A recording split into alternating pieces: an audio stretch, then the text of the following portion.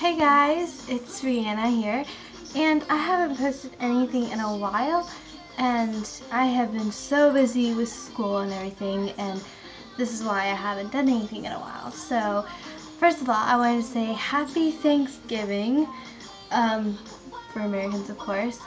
Um, I've been having a good day with my family. We ate a lot of food, watched and we're gonna be watching Christmas movies soon so yeah. That's what I like. And I put up my Christmas tree today and it didn't turn out as well as I thought. So I'll just yeah that's my Christmas tree. Um so yes. So um, I'm so excited about Christmas and hopefully me and Hannah can get together sometime and do more videos because it's been a long time.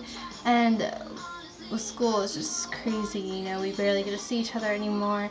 So that's happening and everything. So um, I just want to give you an update about that and everything. And um, Thanksgiving is the time of giving thanks uh, so I just thought I'd tell you what I'm thankful for. Um, I'm thankful for my mom and dad. They have raised me into the person I am today. Um, my friends for uh, supporting me when I really need it and everything. And um, I'm just thankful for everything and everyone in my life. And I thank God every day. So, um, yeah.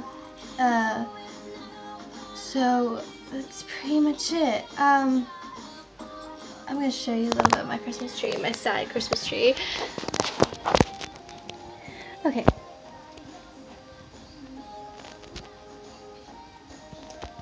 This is my favorite ornament I have. Paris, I don't know if you can see that or not. And yeah, that's my poor little Christmas tree. And uh, like I said, hopefully me and I can get together sometime.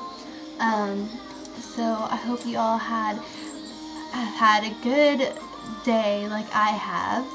Um, and yeah, that's pretty much all it. And um, see you guys later. Bye.